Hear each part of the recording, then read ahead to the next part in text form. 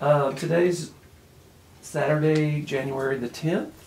We're in, is it Decatur or Atlanta? Decatur. Decatur, Georgia, talking with Craig Cook.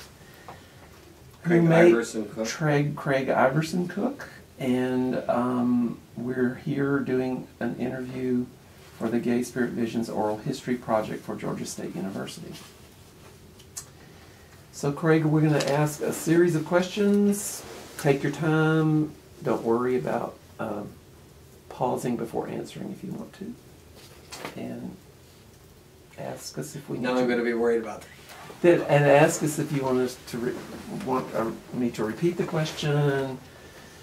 And the questions are just probes, so we're just going to ask these, hoping that, that you'll eventually cover everything by the time we ask them all. So, um, I was kind of approach it like a conversation. yeah, good. Okay, the first one is more ID information than anything else. I want you to describe your family background by telling where you were born, where your parents and grandparents were from, when you were born, about your siblings, if you have any siblings, um, you know, what gender they are, and all Mhm. that, how many you have. And then tell us about one or two uh, profound childhood experiences that you've had that you Mhm. think have influenced you heavily Mhm. and then your partnership history. So I'll go back through those one at a time so you can answer one at a time.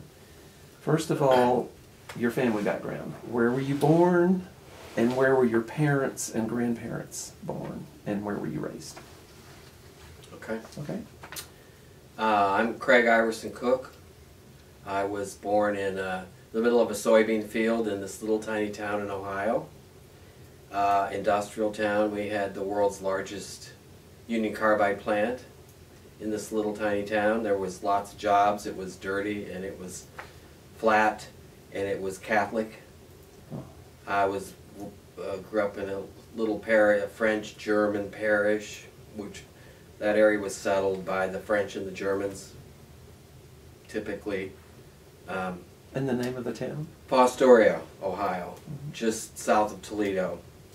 We were very impacted by the auto industry and that whatever happened to them or didn't. Uh, let's see. My mother, Jenny Bell Reisner, was uh, had 12 brothers and sisters. They, uh, when mom died, I realized that pretty much that entire family lived within 20 miles their entire lives because the cemetery where she was uh, buried was just down the road.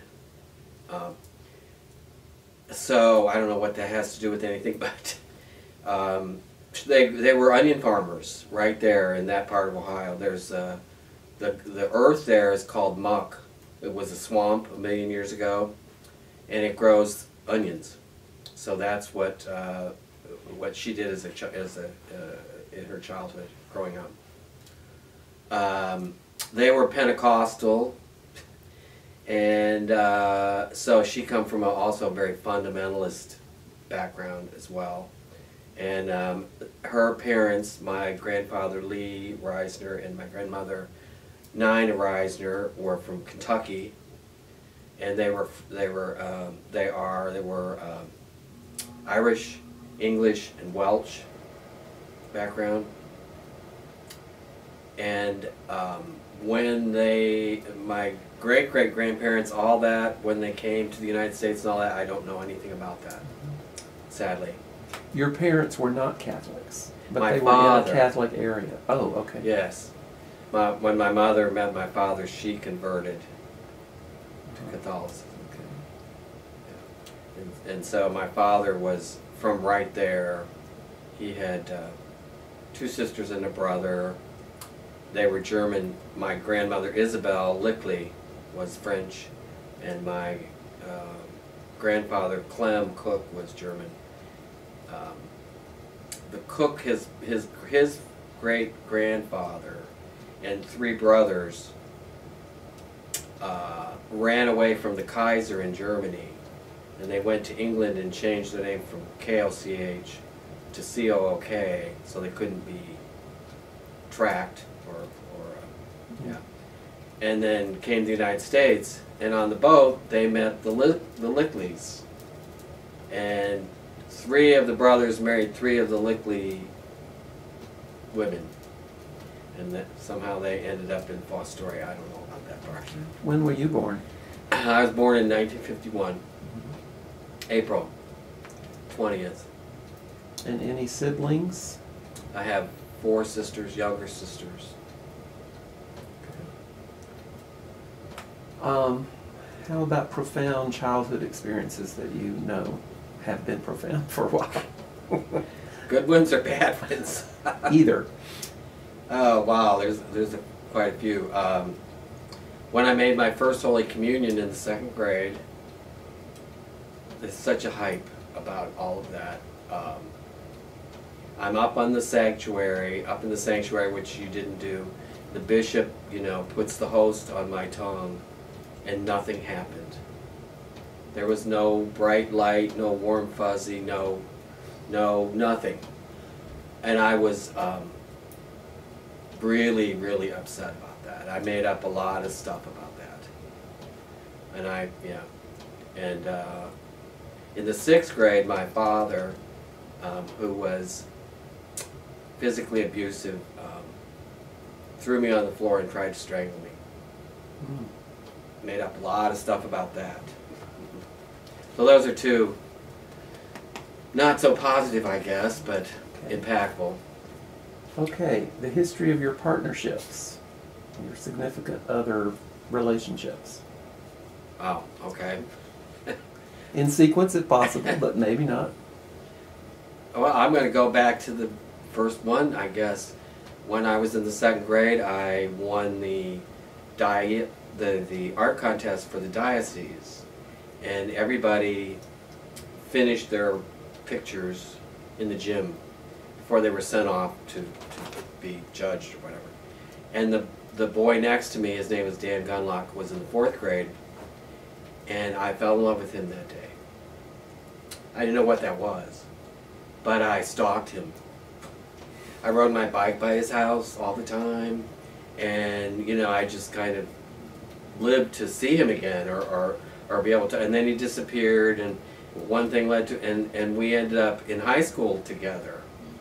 And I moved in with him in 1969 in West Virginia, and uh, where I my first go at college. Also, the relationship was a disaster. as was my uh, two quarters at West Virginia University. So then in, let's see, 71 I met John, and it was a torrid romance, and it, it did not go well at all. And that, that, was, it, that was not good. Then, uh, let's see, in 80 I met Craig Weiss. We were together 14 years. Um, it was a good relationship at the end. You know, we'd grown apart. Sorry, That's all right. I didn't realize she was even That's there. okay. She Um, to be in there. Who am I saying I'm sorry to? Um, so, and then eight years ago, I met Sean Iverson. Uh, we were together. Sean passed in um, May of 2013. We were together seven and a half years, I guess. Okay. Okay, can you describe your coming out experience? Sure. Anything before the fourth grade? the fourth grade. Isn't that what you said? You met this artist? Oh well, yes. That was I was in the second grade, of course, Mhm. but there was no um, there was no coitus. Pre-puberty. Okay. Um, yeah, I came out uh, in April of my senior year. Uh, a boy kissed me, College or high school? high school, High school. Okay. and uh, that, it was that simple. Uh, I just I was out. I told everybody, and not everybody, but I, I pretty much flew out of the closet. Mm-hmm. It was pretty pretty uh, painless, really. Um, my parents were great. My family was great. Your dad was great. Well, my, he- no, I, you, I'm glad. Not great, but certainly considerate. There was no. He had mellowed a great deal, I think, at that point, and I think what actually my father had sort of made up. It's right after the incident in the floor to hands off or something like that. I gotta stay. I gotta keep this under control. So it's like that. Our relationship didn't get better. That's for sure. Yeah. Um, Okay, tell us about any relatives, acquaintances, friends, mentors, events, or experiences that shaped your spiritual journey before attending your first GSV conference. So anything prior to that, kind of how that developed for you as a spiritual journey. Okay. Um, well, growing up Catholic, I grew up with a lot of ritual, um, you know, a little bit of pomp, a little bit of uh, piety, and you know all that, because I it was still it was be, a lot of growing up was before the ecumenical council, so it was still the old kind of Roman Catholic traditions, and um, and then uh, in 1969 I graduated and From, from um, oh from high school. Okay, and, and uh, started to figure try and figure out college and my rest of my life and became I was pretty much a full blown hippie, so I sort of I guess had that sort of earth sensibility without really knowing it yet, and um, really spent a lot of time looking at spirituality, my spirit, my way of expressing it or or getting it by going to different churches. I was involved with Unity for a while in metaphysics, um, Atlanta Church of Religious Science. Uh, I did a lot of, of some work around in the, in the whole Eastern. Um, considered being becoming a Buddhist, and but but I really ended up being a guppy when I met Craig Weiss. Like you know, I had new, we had new cars and we had house and we we had really corporate jobs and you know we were we were uh, living the gay leave it to beaver June Cleaver kind of lifestyle I guess. And there was no spirituality there. Um, and then I went to my first we were Craig and I were um, separated still lived together.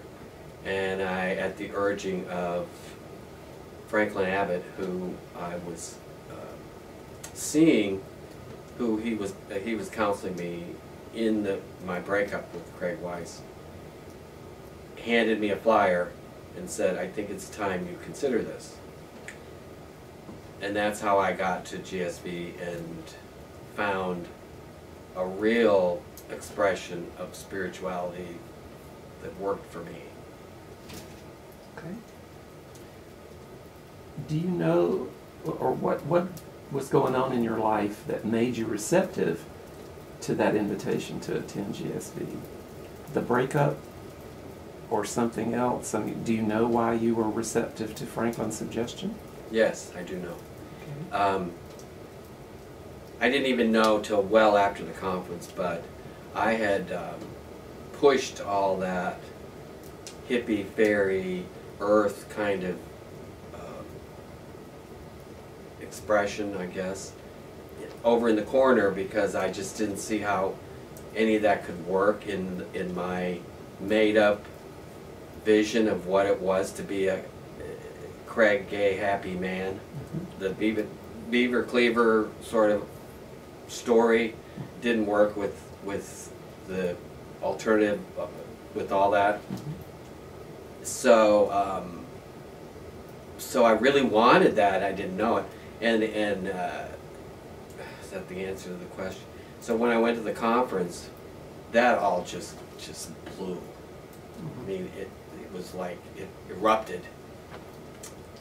Came out again, sort of. Do you recall what most appealed to you about about your first conference? What the best thing about it was? Was it reclaiming that all that stuff you put away, or was it so- some feature that happened there that really impressed you the most? If, if I had, if I narrowed it down to one aspect, it would, I would say the beauty of it, the beauty of who we were being there at the mountain was, uh, it, had an authenticity and a, I don't know, real, uh, primal kind of realness that I had never even seen or I had no idea Gay Men could even be like that. And and in an instant, it was like, that's me. Just to go back to one of the earlier questions, um, were there any particular people or relatives who really influenced your spiritual journey that you can think of now? Uh, or experiences before GSV that were super important to your spiritual development? Like an aunt or a grandmother or whatever, or not? Not really. Okay. Okay. Pretty much, we were pretty middle class America, mainstream kind of. Mhm. yeah. And no teachers or anything that you feel like were kind of looking back on it, guides or beacons or, For the spirituality, no. okay. Mhm. Um, so when did you attend your first conference? Was it the first conference? It was the third conference. Third conference. And do you remember what year that was? 93, I Okay. think. All right. Is that right? Mhm. Uh, That's yeah, right. Uh, Spanbauer, Tom Spanbauer. Okay. Okay, so um, just briefly describe your life circumstances at the time of that first conference. You, were you living in a city or or not? Were you out of that relationship, and for how long? Anything else that was kind of surrounding your decision to go to the conference? Um, well, certainly Franklin was a major influence at me going because I um, trusted him. I, I, I had it that he had my best interest at heart. And um, Were you And- living by yourself at that point? no, I was No? I was Craig Craig and I were still in some conversation about we can work this out. We like we can still live together and be single and date. And that that didn't work, but so no, I was in the world of working it out, I guess. Mhm. And I knew this didn't work, so I'm trying this Mhm. kind of. And were you in a, in a job at that time that you had been in for a while, or were you between? No, I was um, I was with small. I was in uh, an architectural firm that I'd been in for ten years Okay. at that point. So, what do you remember about that first conference? What specific flashes do you have from then? Oh my goodness. Uh, If you can isolate the first Yeah. conference. oh yeah, I definitely can. Yeah. Well, I was dri- I drove up there alone. I didn't really know anybody at all except for one person, Dale Moore, who was a- an, uh, a longtime friend who had fallen in love with it in the very beginning, and I made up that it was just really weird, and uh, kind of resisted, and so I'm driving up there and very uh, confronted by what I made up was going to happen. Like, what was I going to have to do and say, and were we going to be naked, and and did I have the right clothes, and you know, I had no idea what I was going into, and I was afraid, really. And uh, so, my first memory of getting there was the altar in the treehouse. And in that year, it, everybody brought their gifts, their small group gifts, and just put them on the altar. So that was the altar, was the small group gifts. And I had forgotten my small group gift. And all I had was this cheap uh, polyester Hawaiian lei hanging over, hanging on my rearview mirror. so I was immediately like, oh my god, I've already screwed this whole thing up.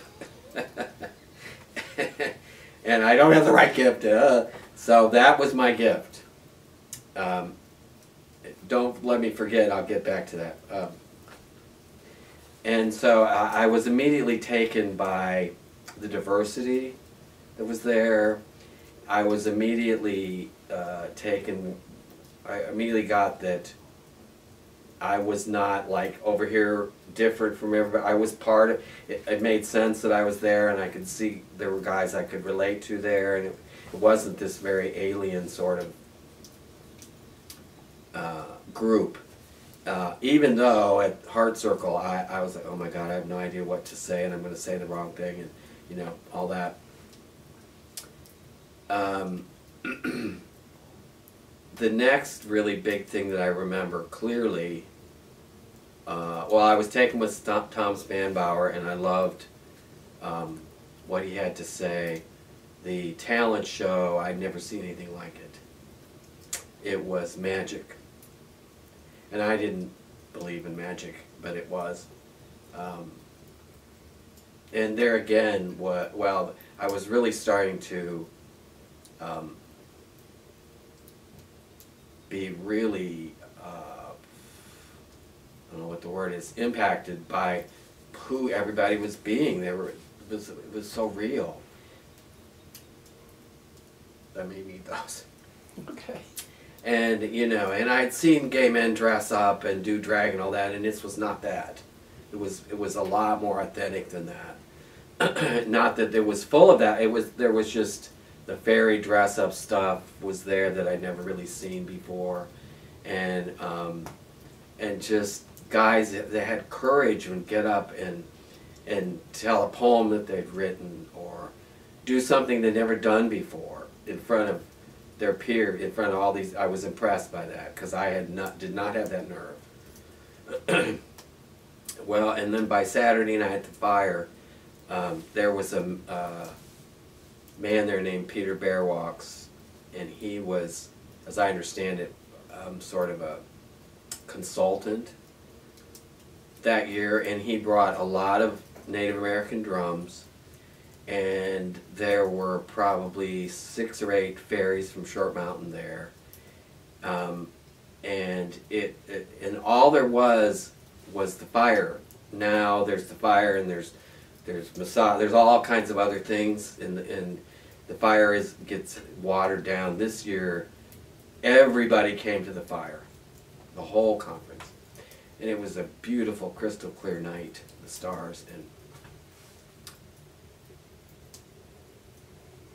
I lost it hmm.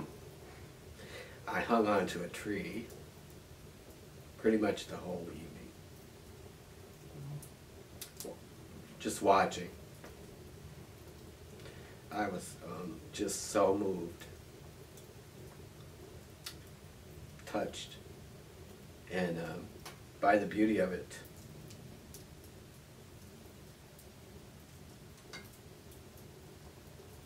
And the love that was there, and the uh, acceptance, and just everything. It was it was beautiful, and possibly that conference may have been the first time in my life I was ever really present, or present to being present, or present to to what it's like to be present you know, I actually had, was conscious of that. It's like, you know, I, I, that whole conversation I always thought was kind of a silly one. Um, yeah, and I couldn't talk about the conference for two weeks afterwards. People say, "Oh, that thing you went to on that weekend." I go, "Yeah." How was it? Well, it was. Eh, talk about it. It was wonderful. Tell us about some of the, the rituals or traditions or behavior that you encountered there that you had not ever seen before. Um, well, heart circle for sure, with the talking stick. Uh, I knew what that was, but uh, but that but gay men would do that, uh, or it was that was a brand new thing for me for sure. Mm -hmm. um, the Wiccan stuff, Um, I'm not sure there was a lot of that at the conference, uh, exactly. Um, but there was a workshop about it that I um, was afraid to go to because I, I just made up stuff about that. Um, certainly, I don't know if it's a ritual, but the talent show and the fire mostly that uh, that we would do that and dance and drum and play till three in the morning was was extraordinary. So, how would you say that the conference was different than what you expected? or in what ways was it different? Yeah. What did you expect? Do you remember? I don't know. I, I don't know what I expected. Um, I didn't expect to be so completely given over to it or um, vulnerable in it, maybe. Um, I, I mean, I basically left that conference and and started going to the council meetings pretty much that next meeting. Um, is that the, is that, am I online? Yeah. Um, golly, I got up the, um, nerve to leave Craig, uh, to move out. That I actually sort of found it, uh, the, the power to do that, I think, in the conference. And I had this support system, this brand new support system that I didn't have before because there were, you know, I had fr- I got made friends that weekend at that conference. So I'm taking it you you do. It is the case that some of your fears or all of them were kind of unfounded or misguided or something as far as what hap- actually happened Actually versus what you thought was going to happen. Yes, Okay. yes. So I don't even know if I understood what was going to happen Mm-hmm. really in any. hmm Yeah. Okay. Um, so uh, about how often do you attend these conferences since then? I've attended all of the fall conferences, but one. Okay. Um, is there anything interesting about why you didn't go to that one, or was it was just a circumstantial thing? Um, it was just circumstances, Okay. r- r- really. Yeah. Um, so, what are some of your favorite conference memories, regardless of when, which conference they happened at? Just pick some of your faves and think about it if you need to. Some of your things you're glad that happened. Well, certainly that, that first fire changed me. Um, I became a, a, a, started going to a drum class in Decatur and played uh, djembe for 20 years because of that conference. Um, and that night, there's so many, um, golly, the King Ritual where we marched down to the Memorial Garden. Um, a spring conference where we a whole bunch of sat on the deck, drug our mattresses out on the deck, and just spent the afternoon in the sun painting our fingernails and and just hanging out. Um, gosh, the the uh, trance the trance dance uh, for the visioning, which was is an aside kind of gathering, but we had a little mini trance dance at the mountain, and the Gay Men's Chorus was there for their winter retreat. And I, it's a long story, but it, it was just an, the contrast of us up against them and our trance dance up against, you know, the, this sort of what I used to think gay was, where you, you had Cole Haan loafers and you, and you drank a lot and like that. We, we were so different and so much more um, authentic. Uh, that was an amazing evening. I, get, I don't know if I explained that very well, but the day I sat on the deck with Raven and there were some others, and um, these three ravens or blackbirds flew across the sky like a minute apart, and we sat there and talked about that, and that was probably the only time I actually got to spend with Raven one on one. Um, it's a great memory I have. Okay. If any others pop up, just be sure to Oh yeah, them yeah. Um, what are some of your favorite conference activities? And has that changed over the years as you've gone to more conferences? What you particularly look forward to? Unless you don't have any favorite ones, which is fine too. Oh yeah, I do. Um, I do. Um, well, the fire for sure. Um, probably anything that where we're all together, as opposed to split up doing a bunch of different things, would would be what I look forward to the most. Mm-hmm. Like not being so frantic, hanging more in the world of hanging out together or mm-hmm. like that. Like the dance and the talent show, we're all together.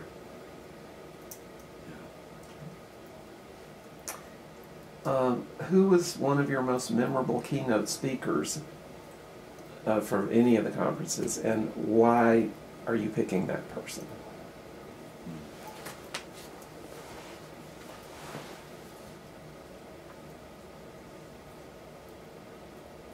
I love Tom Spanbauer. Uh, and I'm not sure how much valid that is just because uh, it was my I was so raw and vulnerable, open, and and he he just had this charisma, and of course there was a book the the book that he wrote was perfect for the cut because it was a book like I'd never read anything like that before. Um, Malcolm Boyd was dear and amazing and had this this kind of um, mainstream quality and, and then at the same time in his spirituality he embraced a, a kind of um, bad boy I mean we did we did a spanking workshop that weekend and it was just this combination of of who he was that that was very unique to me. Um, Toby Johnson. Uh, one thing that struck me right in the beginning of GSV for me was that there were men that came there like Malcolm and Toby and and Tom and, and everybody who did things in their lives, produced things in their lives that I would never do or be, or have any way to get to them. I just had no way to, to get to somebody like Toby Johnson who produced this magazine and or you know he was a writer and an author and and that whole world I I, I just um, so the access to to men like that is amazing to me. Mm-hmm. Okay. Tell us about somebody at a conference who was particularly another conference goer that particularly who was particularly memorable for you. Somebody you met at a conference. Any conference. Mm, mhm. I have to think about that one. Okay. We'll come back and ask it again. Yeah. With somebody that you met and didn't expect, had not known before, but that turned out to be a significant person in your life. Well, actually, um, um, Bear Bergman Uh-huh. Just was. Uh, I was on the council for him, and part of the. We'd had Peter Peter Toscano too. Really, um, we had him the year before, and it was took something because because there so there was this whole trans conversation in the council. Should we? Shouldn't we? Uh, just there was angst around having Peter Toscano there because he was he was controversial, I guess. And then the ne- and then we realized that we had sort of um, pulled our finger out of the dike, and and we there was some shit came up around Peterson, and you know we touched a nerve, and we needed to go this more, and so then we found uh, Bear, and um, he cracked it wide open. It, it was an amazing conference because of him, what he brought, uh, what he made us look at and question, and um, our homophobia was just in our face because Was the controversy about the Native American stuff, or what, what, or about him not being a gay man, or what? It was that uh, Bear was uh, a trans man. a trans person. Oh, okay, Yes. okay. So, yeah, that's an important piece of the information. Yes, yes. yeah. He and and he he he identified as he lived as he looked like he, but was actually a woman. Mhm. Um, and lived as a, lived as a gay man. I mean, had a, a partner. They were a gay couple. Mhm. um, and it really freaked some of the some of the other guys out. The Mhm. whole thing Mhm. because they were attracted to him. There, were, there was an overheard conversation on the deck, um, and it got back to Bear that these guys thought he was hot, and then and then somebody else said, "Oh, well, you know," and they were, you know, and it got back to to Bear, and and it caused uh, the conference to get even bigger because it pissed Bear off. And it and it he had to kind of recreate who he was going to be at this at our conference because because he couldn't be what he had been at you know Washington State University when he lectured there. Or he had to really uh, bring himself to it I guess one way to say it and he called us out he called he he said this is you, know, he let us have it, and we needed to have it. To hear it, it was amazing what happened that year. We saw our homophobia. What is your opinions, or what are some of your opinions about the conference planning process?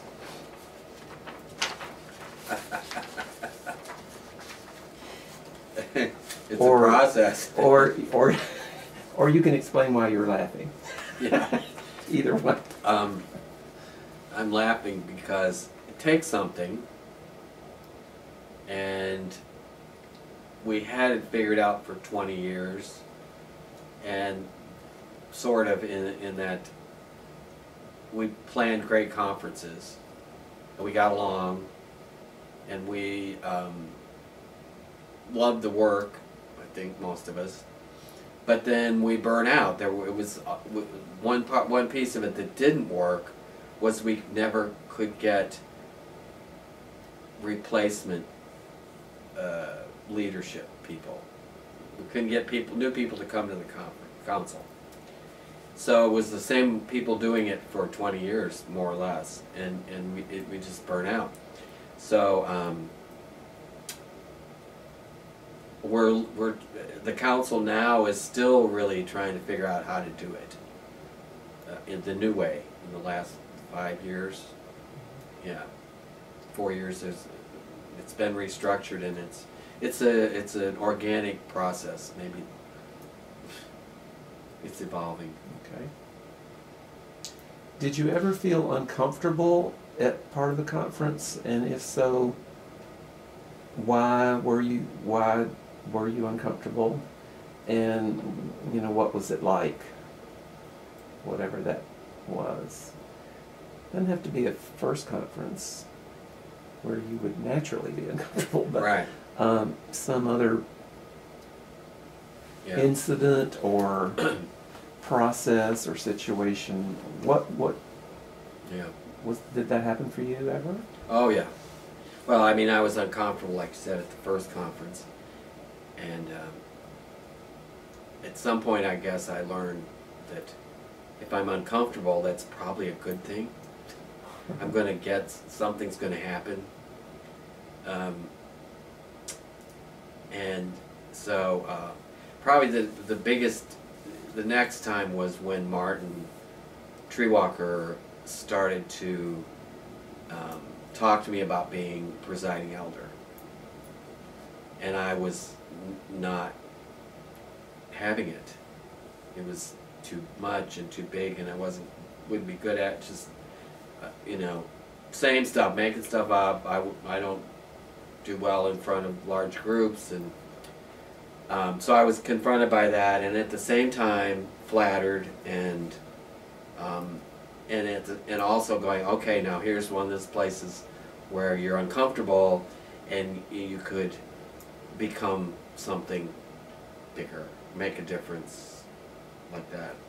And I took it on, and um, the first few times getting up and speaking to the co- to the conference to everybody uh, was very very scary. And um, I I was just it was hard. And then I realized that it was kind of fun and I was maybe okay at it and and that they liked me wow yeah Okay, what have you taken from GSV and incorporated into your life?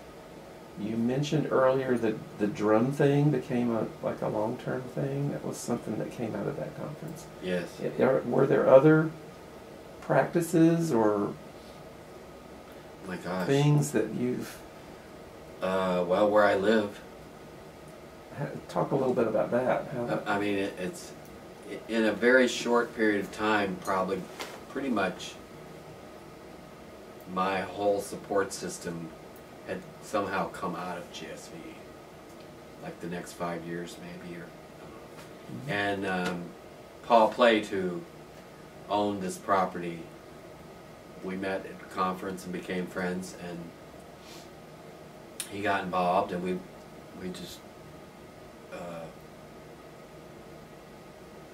were friends, and he had this piece of property that he was renting, and it and it wasn't working very well for him, and I suggested that I buy it, and he said yes, and and I would wouldn't be here, I don't think, Mhm. if I hadn't been to GSV.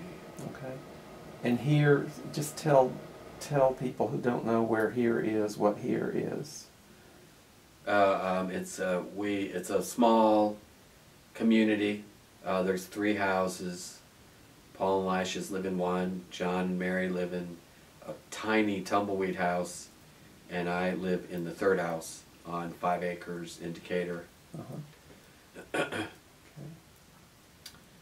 There's a lot of stuff in my life. Uh, I don't know that I would have my job actually um, if it wasn't for two people, two friends from GSV, and and all the work I've done with Landmark came from from Phil Robst, who Mhm. was uh, who's a friend and insisted that I go to dinner with him three times before I said yes. Mhm. And landmark is Landmark Worldwide is um, is a um, metaphysical. It's a study of of human being, mhm. and they Landmark does programs. Um, their first one's called the Forum, and it you put your past behind you. It sounds really corny, and but it, it actually works, and you do put your past behind you. Mhm. And what's available then, like I put my father strangled me on the floor, I got to put that behind me. Mhm. And the, and the freedom uh, to create something with, with all that crap that we carry around with us, um, th- there's freedom in that. Okay. How does GSV seem different from other gay organizations you've been involved with? You might mention what other gay organizations you've been involved with. Landmark is not a totally gay thing, is it? No, Okay.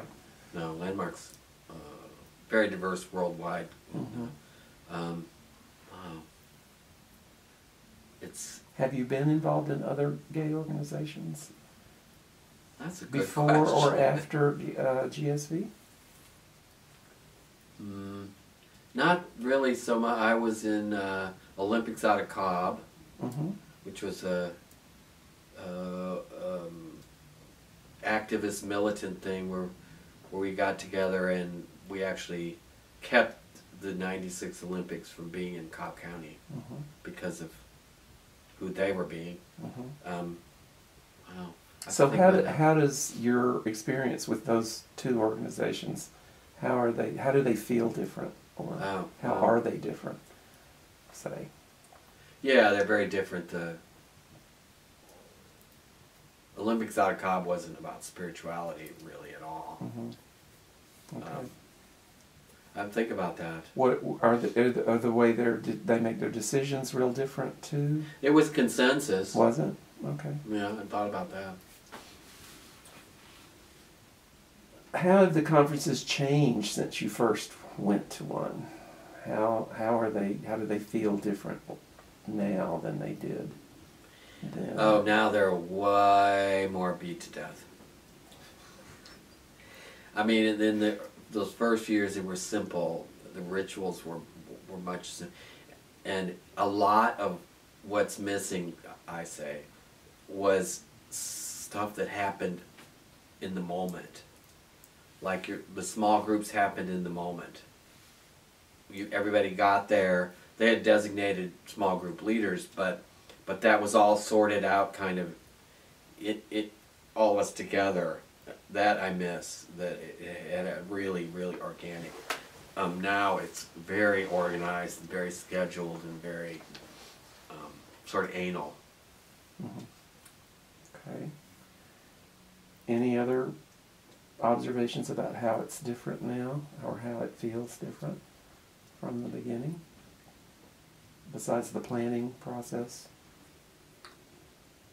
well i think the planning the leadership in the planning process impacts what it, it causes the conference and so if if there isn't that kind of organic let let spirit do it as opposed to having all this control and and we gotta you know we gotta just work it and work it you know it does impact the quality i think of the conference Okay. Tell us about your memories of a Gay Spirit Visions brother who is no longer alive. Just there are several of them to pick. Uh, yeah. Wow. Okay. Um, well, there's Martin Escanitis, Treewalker, King Thaxton, um, John Stowe. All they were all. There's a, a few. King Thaxton was amazing. He was there for me from the beginning. He was a very um, extremely creative man. Hard to get to know. We became friends after considerable work. Um, and he had he brought a, a point of view to the council where it was like okay to be pissed off and it was okay to GSV kind of would dance around hurting people's feelings and and you know saying the right stuff and nobody get upset. King's like no, you know he was very very clear in his um, in his anger sometimes that he just was there it was great. I mean I could go on about Martin and John Stowe and um, um, Ramon Noya was a big influence.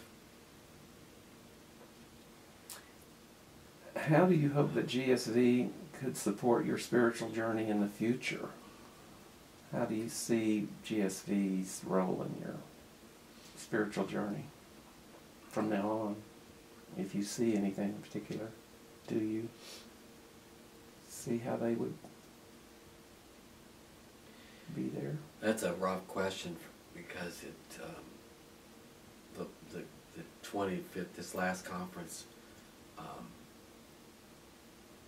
was very confronting for me. It was, it was, I left angry and upset and I've never left a conference in that place before. Mm-hmm. So it's hard for me to see. It's hard for me to see how how how that's going to go in the future. Okay. Well, what advice would you give to somebody who's about to, to attend his first conference? What would you tell that person to make it easier on them? Uh, to definitely go Mhm. without expectation or without to sort of to go uh, and come from nothing, or or to go uh, and just be open and, and ride herd on making up what it's going to be or what it's not going to be, and just let it happen for you. Okay. Is there anybody in particular you would recommend that we also interview for the Gay Spirit Visions Oral History Project? Who, who do you think we should definitely talk with? Um, Andrew Raymer. Okay. Oh wow, think about that. Um, Franklin, Gary Kaufman. I'm just tr- thinking of the men who, who either were there in the beginning or short, you know, have been there for a while. Maybe not. They don't always have to be. Yeah. Um, hmm. Peter, Peter Kendrick. Mhm. Ron Lamb, of course. Um, David Salyer, Kim Pittman, Jim Jones, Phil Ropes, um, Cal Goff,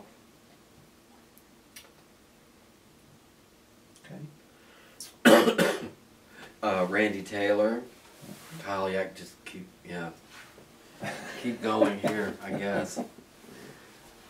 Um, this may be impossible to answer, but we'll ask it anyway. What What do you value most about Gay Spirit Visions?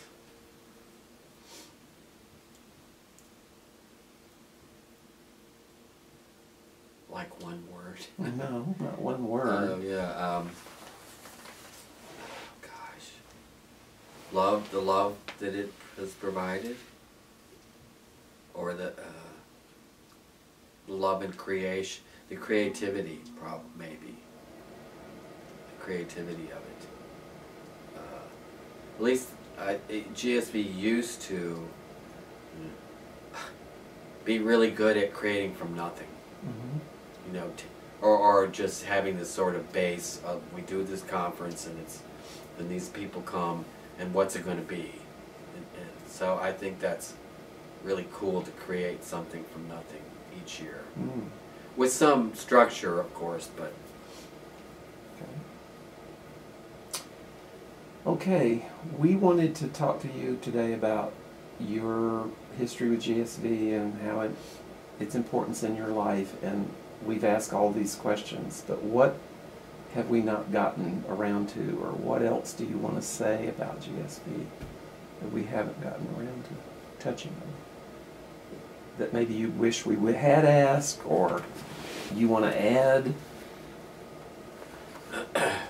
because we didn't ask the questions the way you thought they would be asked or whatever. you don't want to leave out a whole chunk of something that's important about GSV to you or mm.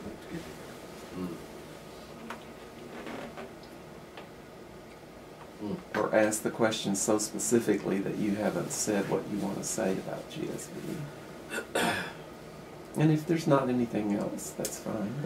But that's the last question. that is the last one. Okay. Mhm. Um, And you can think about it if you want. If we were to walk out the door in five seconds, and what would you say? Wait, yeah. Right. we didn't get to this part. you didn't even think about this part or ask about that.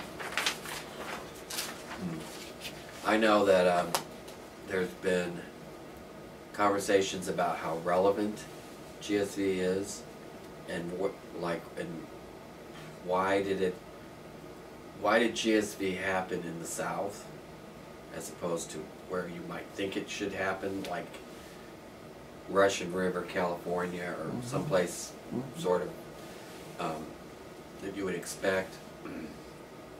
I think uh, that it is still relevant, and I think what happens there is, is it's the most unique thing that I've ever found. The most unique, the most um,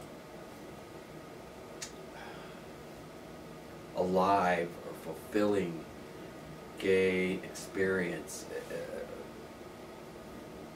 in a group. What am I trying to say? Um, community kind of setting like that. That I've. It, what happens is magic, I think, and it, it can be life changing, and I think I want it to continue. I think it's relevant for the world today, maybe more so than it was 25 years ago. My concern is that we don't lead from spirit. The spirit part of the leadership is somehow forgotten or paved over with control and, um, yeah, like domination, like ego, like I want it this way, like I, I want it, you know. Um, that's what I've seen that's, uh, that concerns me in the last couple of years. It seems to have got lost. Well, this is not on our list, but I'm I'm curious to to hear what you have to say about um, how Shauna and you how his going to the conference and whatever he whatever his experience was that he told you of that how that fits into your story too. I mean how did that just talk a little bit about when he went to his first conference and how it was being there with him versus without him there how did that change it for you and what do you have to say about what would he some of the things he might be saying about the conference if he were here but particularly how it affected your experience of the conference did it Okay. including if there are contradictory feelings like it was better but it was kind of weird different worse too Uh huh. Right. all of that Well, being at the conference with Sean was was I don't know if it was better. It was. Um, I never had been to a conference with a boyfriend or, Mhm. or a partner or lover or anything. So being there with him, sharing that with him, was a whole new sort of world. Um, do you remember hesitating to ask him to come or did, did you know right away you wanted to ask him to come to the next one after y'all met Oh, I, no, I knew im- immediately that he, he, he was, he was gonna go if I had to throw him in the trunk. okay Because I knew, well, I didn't, I don't know if I knew, but I pretty much knew that he, whatever he was gonna make up about it or whatever, he was gonna love it. Because I knew that, how accepting, I mean, I've seen guys get up at the talent show and be just awful. yeah And everybody loves them and claps and it's like great and oh my god, you were one you know, so I just knew that there was a lot of possibility in the conference for Sean. uh-huh. And there was. And- did he have any hesitations about going do you remember Oh, yes. he did Oh yeah. were they the same ones that you had had or were they different ones Well, his he was um, he was still trying to figure out Shauna uh-huh and how to do that in the world and and uh, so here's this I, I don't think it ever occurred even to Sean that he could be Shauna in a group kind of environment, a gay group kind of. I mean, I mean, I don't know that he ever saw that as even a possibility. Mhm.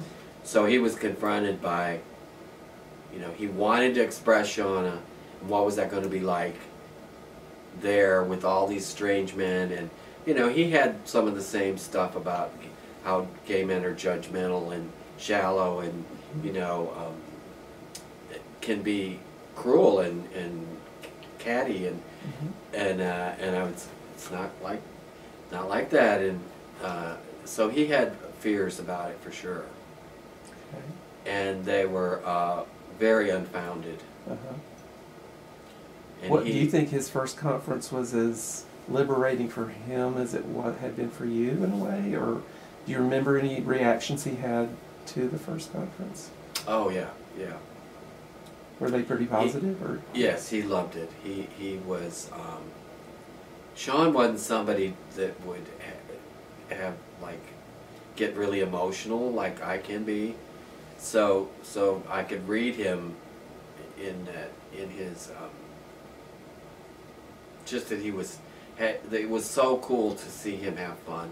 Mhm. and and and sort of um, live into that expression of Shauna in the conference and start he started wearing the clothes he brought Mhm. and um, and then he was in the Walk of Beauties.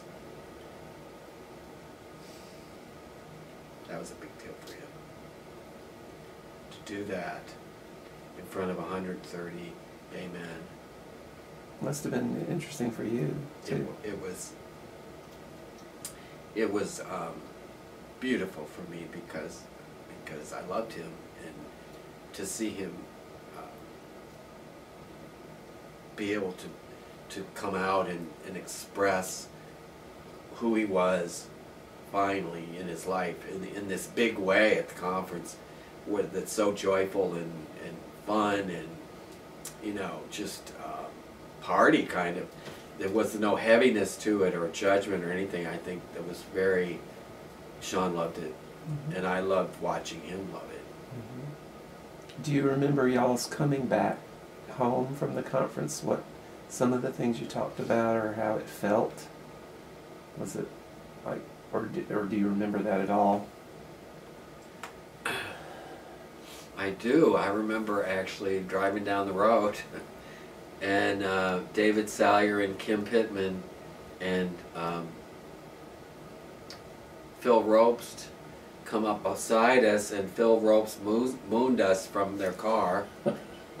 I do remember that. Um, I don't. I just remember warm and fuzzy, and and just you know there's always sort of a recounting of the conference when you drive home. It seems like Mm-hmm.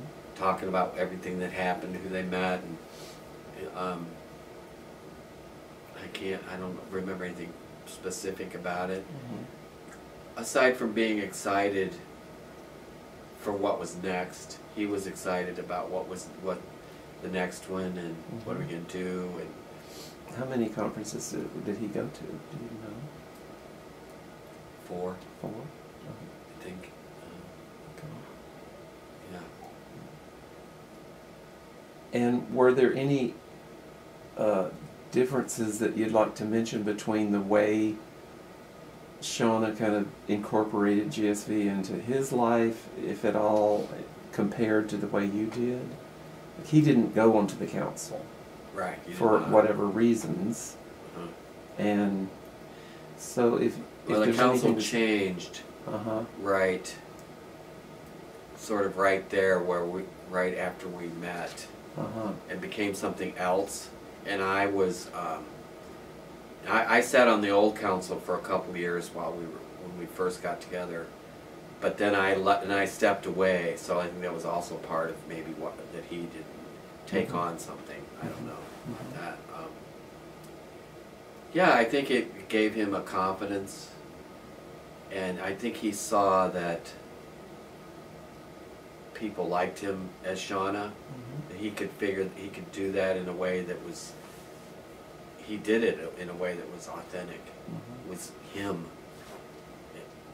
And uh, and he played with that. I think he he um, tried different things in the, at GSV to see how it worked in the world of Shauna. Mhm. And then one walk of beauty, he um, went as him as a big rig mechanic in his greasy old hat and his had his tools and had his little gun and walked the walked to the stage. Nobody knew who he was. but it was but it was he created that. Uh-huh. That wasn't me, or you know, it was something. It, it gave him a, a he gave himself permission to create and, Uh-huh. and go for it. I think in GSV. Yeah.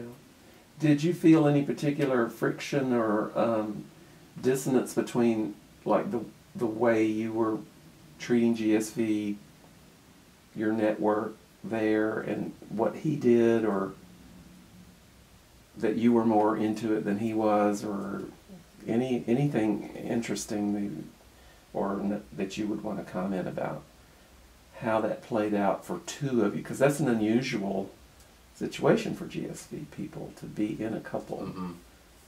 So I was just curious if, if that was a source of bonding or tension or both or neither. It was there was nothing. Um, there was no discord about it anywhere. Okay. We um, we had our own. We had a set of sheets that were our conference sheets. we got them because we figured out you could you could take those two awful little twin beds and turn them the other way. And we got sheets that fit, and you we could set up this whole bed and be in the same bed together Uh-huh. and the sheets held the bed together and so we were a couple and it was cool and everybody uh, no Uh-huh. Okay. Not really uh-uh. um, he was very he was loved very right off i think by Mhm. pretty much Okay.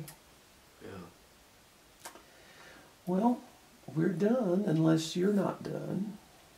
And then you want to talk about the gift. Was it about the lei experience? Yes. Okay.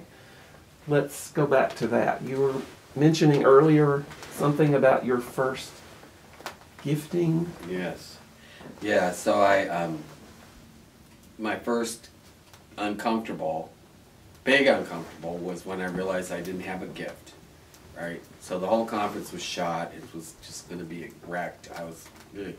and i brought the lei in from the car and laid it on the altar and and then and then and then we gift the gifting piece was on sunday at the end of the conference and uh, you know for me of course i'd fallen in love with probably 90 of the 120 guys. And you know i couldn't talk about it and i couldn't like john stowe i couldn't even look him. I was so intimidated. He was so beautiful and, this kind of expression of life that i just was oh if i could just be him. I, I was anyway um, so franklin was uh, in our small group and and um, Michael Goatee's roommate. Gosh. And it was two guys I remember, and Bat Boy, and um, and this man from from Chicago. And lo and behold, he had fallen in love with that lei and coveted it the whole weekend and ended up with it and it was ran. I can't remember how we did the gift thing, but you, you, he, he didn't pick it in the end. It was just, I remember going, oh my God, what just happened? Mhm. He, that's what he wanted of all the stuff on that altar, that goofy lei. so that was sort of my, maybe my first GSV miracle, or, Mhm. or woo woo, Yeah. will, Right. kind of thing. The small group experiences are part of the foundation of what makes the conferences magic, or most people would agree with that. Do you remember a particularly intense small group experience that you'd like to talk about? Either the uh, first conference or not, just something really uh. powerful that happened in a small group. And why you think, you know, do you agree that those are pretty important to making the conference? I do Powerful. agree that they're, they're, uh, I think a fundamental piece of it because sometimes you, sometimes things come up for all of it, and you, and you can actually process some of the, some of what's there for you at the conference in the small group. They can be quite, um, powerful, uh, experiences and just kind of a place to ground um, and work through stuff. And actually, last year there was one guy that came in our small group, and he was so angry. And we, uh, you know, a couple of us kind of worked on him, and you know, and and he got to something, and he spit it up, and and and he got over it, and and it. The small group really did, I think, what it was meant to do. hmm Um, Do you remember uh, another small group powerful experience that you were in? in? Yeah, I remember a couple. I remember one. There's a couple where I wanted to kill somebody. Because Well, because he had he this he came to the conference with his boyfriend, and his boyfriend flirted with somebody else at the dance, and so the whole all our um, small group meetings after that was about him, and and then yeah. Um, so- but generally, that generally they're quite amazing experiences. I Mhm. think they've been good. great.